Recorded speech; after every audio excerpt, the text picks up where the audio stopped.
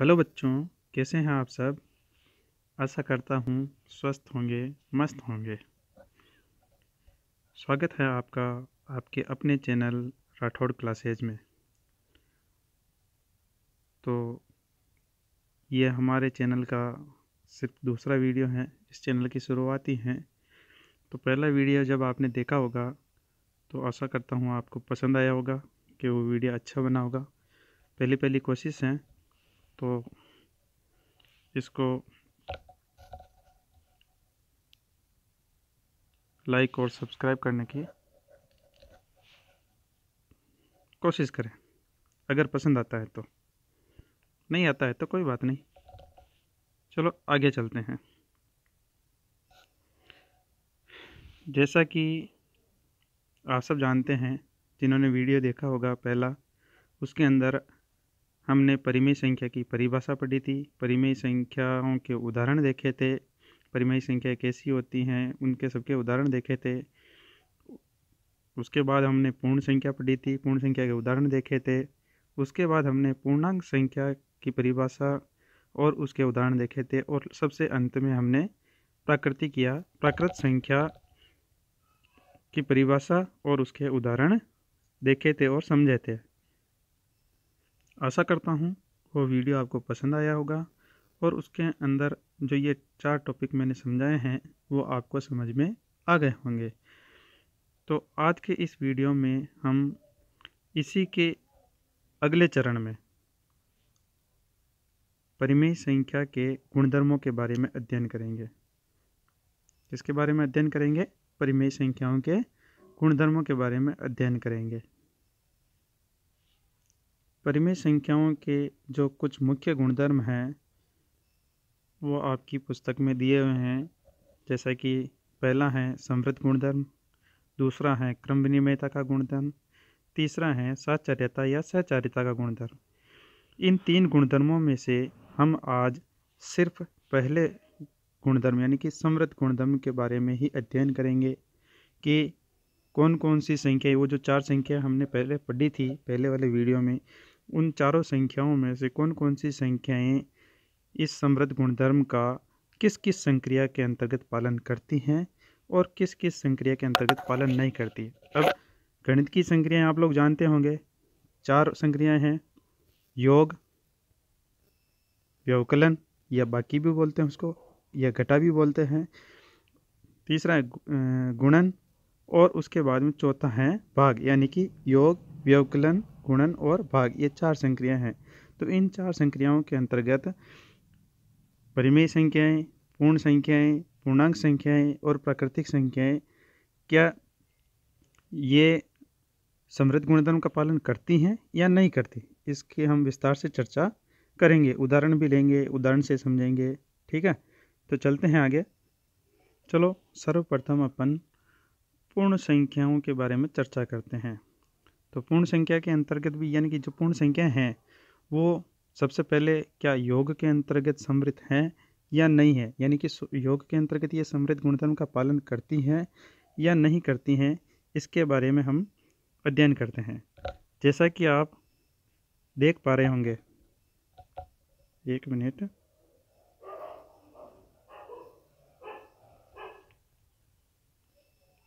जैसा कि आप देख पा रहे होंगे कि ज़ीरो एक पूर्ण संख्या है। वैसे ही पाँच भी एक पूर्ण संख्या है। लेकिन जब इनको जोड़ते हैं, ज़ीरो और पाँच को जोड़ते हैं तो इनका उत्तर हमें पाँच प्राप्त होता है, जो कि एक पूर्ण संख्या है। यानी कि पूर्ण संख्या को पूर्ण संख्या में जोड़ने पर हमें पूर्ण संख्या ही प्राप्त होती है।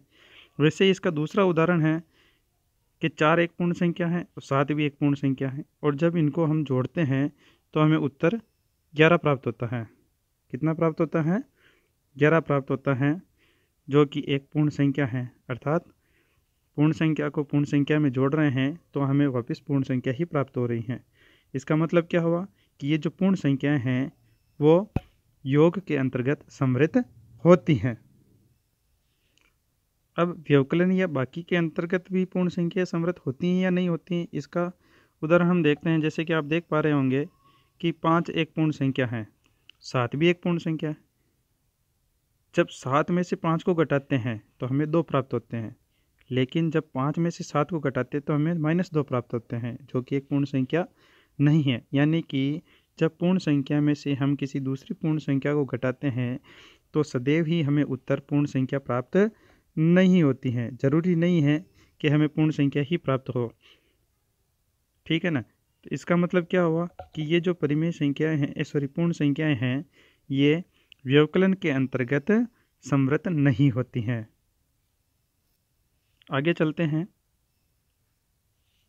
तीसरी संक्रिया है, गुणन। तो क्या पूर्ण संख्याएँ गुणन के अंतर्गत समृत होती हैं? इसका भी अपन उदाहरण देख लेते हैं। जैसा कि आप देख पा रहे होंगे कि ज़ीरो एक पूर्ण संख्या है। वैसे ही तीन भी एक पूर्ण संख्या है। और जब ज़ीरो और तीन को गुणा करते हैं तो हमें उत्तर ज़ीरो प्राप्त होता है। ये तो आप सबको पता ही होगा कि ज़ीरो से जब किसी भी संख्या को गुणा करते हैं तो उत्तर हमेशा हमें ज़ीरो प्राप्त होता है। तो ज़ीरो भी एक क्या है? पूर्ण संख्या पूर्ण संख्या है। क्योंकि हमने पिछले वीडियो में पढ़ा था कि जो पूर्ण संख्या है, वो ज़ीरो से ही शुरू होती है। तो ज़ीरो जो है, वो सबसे छोटी पूर्ण संख्या है। एक इसका दूसरा उदाहरण भी देख लेते हैं कि तीन, ये भी एक पूर्ण संख्या है और सात भी एक पूर्ण संख्या है। और तीन और सात को जब गुणा करते हैं तो हमें कितने प्राप्त होते हैं? इक्कीस प्राप्त होते हैं। कितने प्राप्त होते हैं? इक्कीस प्राप्त होते हैं, जो कि एक पूर्ण संख्या है। अर्थात जो पूर्ण संख्याएँ हैं, वो गुणन के अंतर्गत भी समृद्ध होती हैं। तीसरी संक्रिया है, भाग। भाग के अंतर्गत देखते हैं अपन के पाँच एक पूर्ण संख्या है और आठ भी एक पूर्ण संख्या है, लेकिन क्या पाँच में हम आठ का भाग लगाते हैं तो हमें पूर्ण संख्या प्राप्त होती है? नहीं होती है। जब पाँच में आठ का भाग लगाते हैं तो हमें पाँच बटे आठ संख्या प्राप्त होती हैं। ये एक परिमेय संख्या है, लेकिन पूर्ण संख्या नहीं है। अर्थात जब पूर्ण संख्या के अंतर्गत पूर्ण संख्या का ही भाग लगाते हैं तो ये ज़रूरी नहीं है कि हमें पूर्ण संख्या ही प्राप्त हो। ठीक है ना?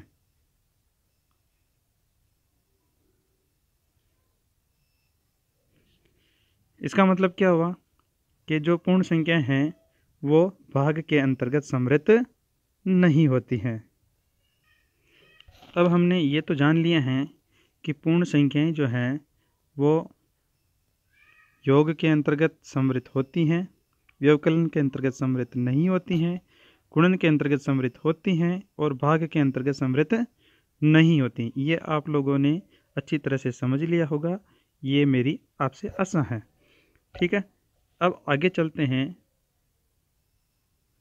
चलो अब बात कर लेते हैं दूसरी संख्या, पूर्णांक के बारे में। क्या पूर्णांक संख्याएँ जो होती हैं, वो योग, व्यवकलन, गुणन और भाग के अंतर्गत समृद्ध हैं या नहीं है? सबसे पहले सबसे पहले देखते हैं कि क्या पूर्णांक संख्याएँ योग के अंतर्गत समृद्ध हैं या नहीं है।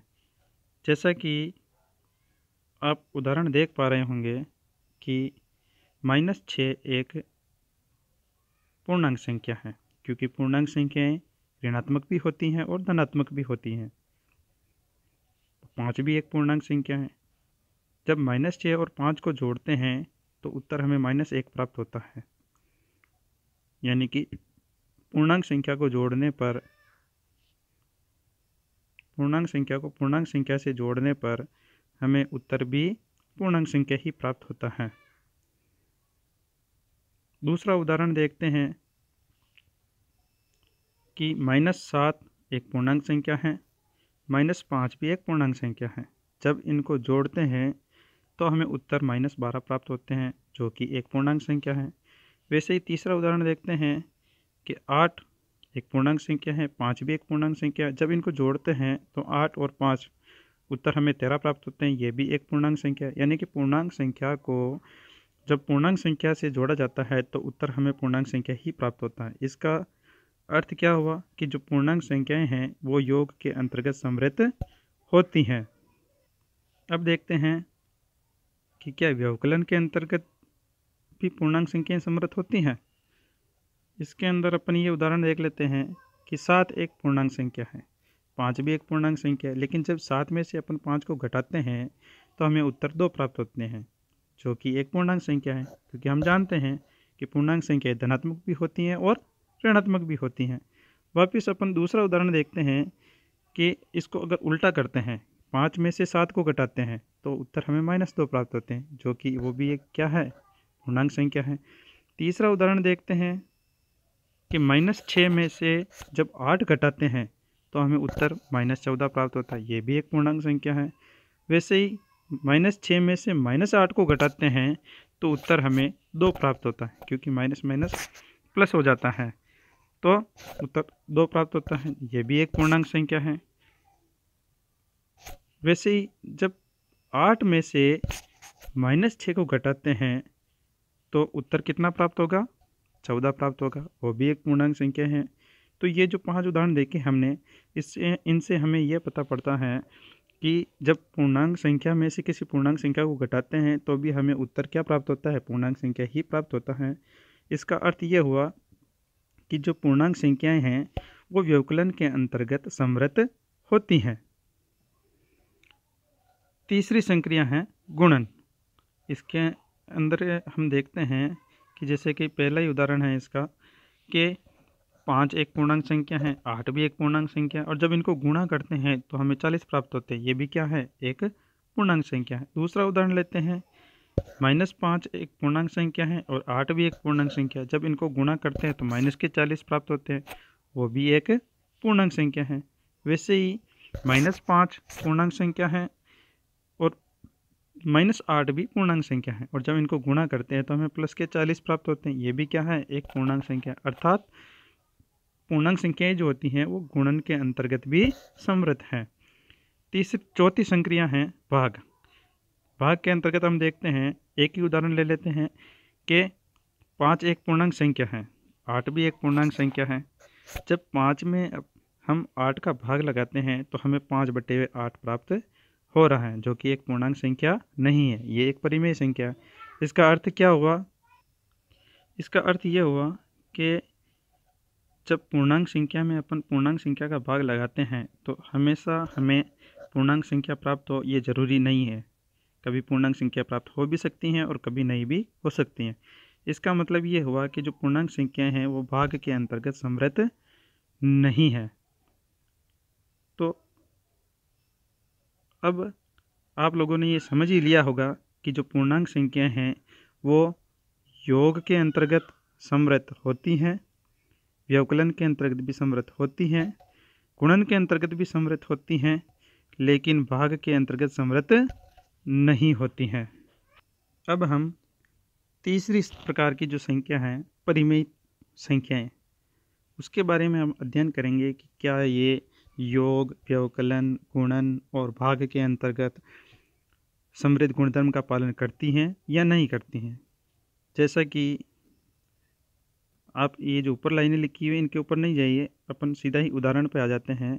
जैसे कि पहला ही उदाहरण है कि तीन बटे आठ एक पूर्णांक संख्या सॉरी तीन बटे आठ एक परिमेय संख्या है और माइनस पाँच बटे हुए सात भी एक परिमेय संख्या लेकिन जब इनको जोड़ते तो हमें माइनस उन्नीस बटा छप्पन प्राप्त होते हैं, जो कि एक परिमेय संख्या है, क्योंकि परिमेय संख्या माइनस में भी हो सकती है और प्लस में भी हो सकती है, यानी कि ऋणात्मक भी हो सकती है और धनात्मक भी हो सकती हैं।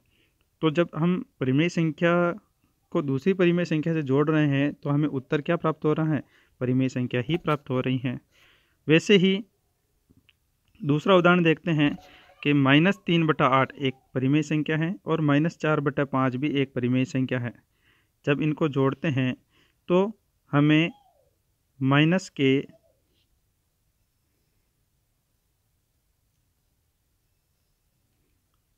माइनस के सैतालीस बटा चालीस उत्तर प्राप्त हो रहे हैं, जो कि क्या है? एक परिमेय संख्या है। वैसे ही अगर हम जो तीसरा उदाहरण है, इसको हल करते हैं। तीसरा उदाहरण जो है, अगर अपन इसको हल करते हैं तो देखते हैं कि पहले इसकी जो संख्या है, परिमेय संख्या चार बटे सात और दूसरी संख्या है छः बटा ग्यारह। अगर इसको हम हल करते हैं तो इनके जो हर हैं, सात और ग्यारह, उनका लेस से सतहत्तर आता है। अगर सात का भाग सतहत्तर में लगाते हैं तो ग्यारह बार जाता है, और ग्यारह को चार से गुणा करते हैं तो चौवालीस प्राप्त होते हैं। वैसे आगे प्लस का निशान है। तो उसके बाद में ग्यारह का भाग सतहत्तर में लगाते हैं तो सात बार जाता है, और सात को छः से गुणा करते हैं तो हमें बयालीस प्राप्त होते हैं। और जब चौवालीस और बयालीस को जोड़ते हैं तो हमें छियासी प्राप्त होते हैं और नीचे सतहत्तर। यानी कि जब चार बटा सात और छः बटा ग्यारह को हम जोड़ते हैं तो हमें छियासी बटा सतहत्तर प्राप्त होते हैं, जो कि एक परिमेय संख्या है। इसका मतलब ये हुआ कि परिमेय संख्या योग के अंतर्गत समृद्ध गुणधर्म का पालन करती हैं। अब हम देखते हैं कि क्या परिमेय संख्या व्यवकलन के अंतर्गत भी समृद्ध गुणधर्म का पालन करती हैं या नहीं करती हैं? जैसा कि आप पहला ही उदाहरण देख पा रहे होंगे कि माइनस पाँच बटा सात एक परिमेय संख्या है? वैसे ही दो बटे हुए तीन भी एक परिमेय संख्या है? लेकिन जब माइनस पाँच बटा सात में से दो बटा तीन को घटाते हैं तो हमें उत्तर क्या प्राप्त होता है? माइनस के उनतीस बटा इक्कीस प्राप्त होता है, जो कि एक परिमेय संख्या है। दूसरा उदाहरण लेते हैं कि पाँच बटा आठ एक एक परिमेय संख्या है और चार बटा पाँच भी एक परिमेय संख्या है। जब पाँच बटा आठ में से चार बटा पाँच को घटाते हैं तो हमें पच्चीस माइनस बत्तीस बटा चालीस, यानी कि माइनस के, एक मिनट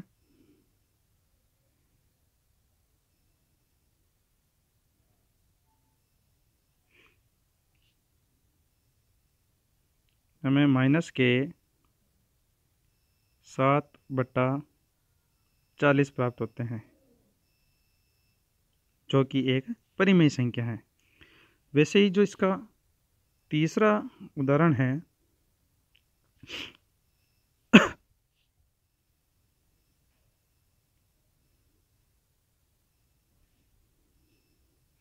तीसरा उदाहरण है तीन बटा सात। तीन बटा सात, ये एक परिमेय संख्या है, और माइनस आठ बटा पाँच, ये भी एक परिमेय संख्या है।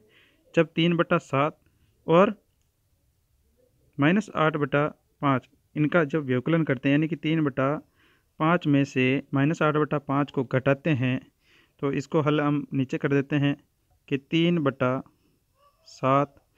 अब ये कोष्टक के अंदर और बाहर दोनों माइन दोनों तरफ़ माइनस हैं तो माइनस माइनस गुणा होकर प्लस हो जाते हैं। इसलिए जब कोष्टक खोलते हैं तो प्लस लगेगा और प्लस के आठ बटे पाँच हो जाएगा। अब सात और पाँच का लेस है पैंतीस होता है। सात का भाग पैंतीस में पाँच बार जाता है और पाँच को तीन से गुणा करते हैं तो हमें पंद्रह प्राप्त होते हैं। प्लस फिर पाँच का भाग पैंतीस में सात बार जाता है और सात को आठ से गुणा करते हैं तो आठ सत छप्पन प्राप्त होते हैं। जब अपन इसको जो, इनको जोड़ते हैं, पंद्रह और छप्पन को जोड़ते हैं तो हमें इकहत्तर प्राप्त होते हैं और नीचे पैंतीस है। तो ये क्या है? ये भी एक परिमेय संख्या है। इसका अर्थ ये हुआ कि जो परिमेय संख्या है, वो व्यवकलन के अंतर्गत भी समृद्ध गुणधर्म का पालन करती है। अब हम तीसरी संक्रिया के बारे में देखते हैं कि क्या उस संक्रिया के अंतर्गत परिमेय संख्या समृद्ध गुणधर्म का पालन करती हैं या नहीं करती हैं? तीसरी संक्रिया कौन सी थी? गुणन। तीसरी संक्रिया के अंतर्गत देखते हैं, जो कि गुणन है। इसका पहला उदाहरण देखते हैं कि माइनस दो बटा तीन, एक परिमेय संख्या, ये आप लोग जानते हैं। परिमेय संख्या माइनस में भी हो सकती है और प्लस में भी हो सकती है। वैसे ही चार बटा पाँच भी एक परिमेय संख्या है। जब इनको हम गुणा करते हैं तो हमें उत्तर कितना प्राप्त होता है? माइनस के आठ बटा पंद्रह। ये भी क्या है? एक परिमेय संख्या। इसका दूसरा उदाहरण देखते हैं कि तीन बटा सात एक परिमेय संख्या है, दो बटा पाँच भी एक परिमेय संख्या है। जब इनको गुणा करते हैं तो हमें छः बटा पैंतीस प्राप्त होता है। जो कि एक परिमेय संख्या है। वैसे ही एक तीसरा उदाहरण देखते हैं कि माइनस चार बटा पाँच, ये एक परिमेय संख्या है, और माइनस छः बटा ग्यारह, ये भी एक परिमेय संख्या है। इसको हल करने का काम मैं आपको सौंपता हूँ, ये आपको करना है, ठीक है?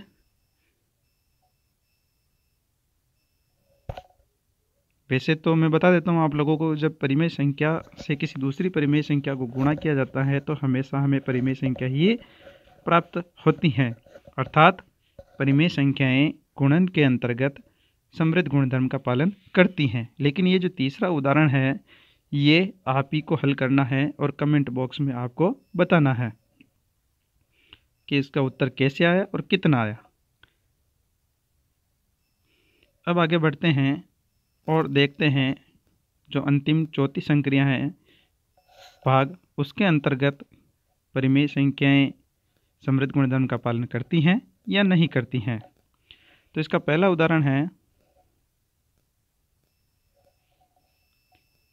जिसके अंदर हम देखते हैं कि माइनस पाँच बटा तीन एक परिमेय संख्या है और दो बटा पाँच भी एक परिमेय संख्या है। लेकिन जब माइनस पाँच माइनस पाँच बटा तीन में दो बटा पाँच का भाग लगाते हैं तो हमें उत्तर कितना प्राप्त होता है? माइनस के पच्चीस बटा छः प्राप्त होता है।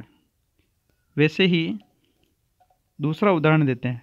माइनस के पच्चीस बटा छः क्या है? एक परिमेय संख्या है।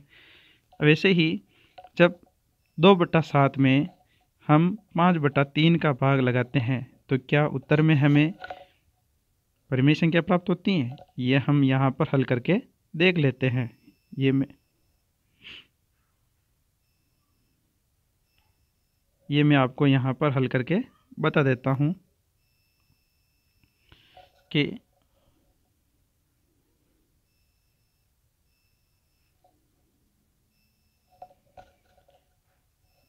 दो बट्टा सात और ये जो भाजक का चिन्ह है, इसको अपन गुणा के चिन्ह में बदल देते हैं और आगे वाली जो संख्या है, वो उल्टी हो जाती है।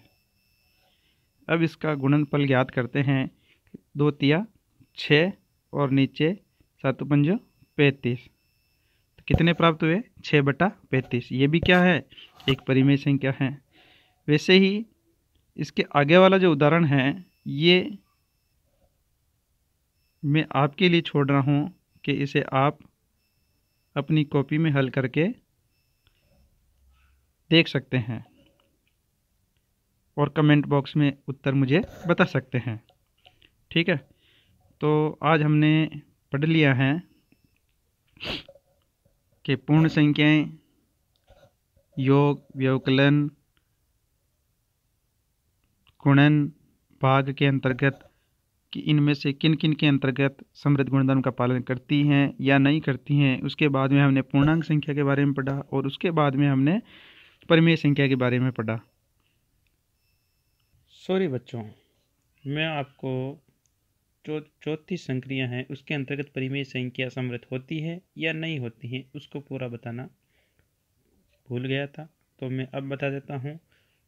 इसको हम एक उदाहरण लेके समझ लेते हैं। कि पाँच एक। परिमेय संख्या है। वैसे ही ज़ीरो भी एक परिमेय संख्या है। लेकिन जब हम पाँच में ज़ीरो का भाग लगाते हैं, पाँच में ज़ीरो का भाग लगाते हैं तो हमें पाँच बटा आठ प्राप्त सॉरी पाँच बटा ज़ीरो प्राप्त होते हैं। और अगर इसको हल करते हैं तो इसका उत्तर अनंत आता है। यानी कि पाँच बटा ज़ीरो एक परिमेय संख्या नहीं है। यानी कि हर बार ऐसा ज़रूरी नहीं है कि किसी परिमेय संख्या में दूसरी परिमेय संख्या का हम भाग दें और हमें उसका जो उत्तर है, वो परिमेय संख्या ही प्राप्त हो। जब किसी परिमेय संख्या में हम ज़ीरो, यानी कि जो एक परिमेय संख्या है, उसका भाग लगाते हैं तो हमें अनंत प्राप्त होता है, जो कि एक परिमेय संख्या नहीं है। इस हिसाब से जो, इस हिसाब से जो परिमेय संख्याएँ हैं, परिमेय संख्याएँ हैं, वो भाग के अंतर्गत, भाग के अंतर्गत समृद्ध नहीं होती हैं। ठीक है ना? अब ये आपके समझ में आ गया होगा। इस हिसाब से अगर हम चारों संक्रियाओं में देखते हैं तो परिमेय संख्या योग के अंतर्गत समृद्ध होती हैं व्यवकलन के अंतर्गत भी समृद्ध होती हैं और गुणन के अंतर्गत भी समृद्ध होती है, लेकिन भाग के अंतर्गत समृद्ध नहीं होती हैं। तो आज के लिए इतना ही काफ़ी। मिलेंगे अगले वीडियो में अगले कुछ टॉपिक लेकर के। धन्यवाद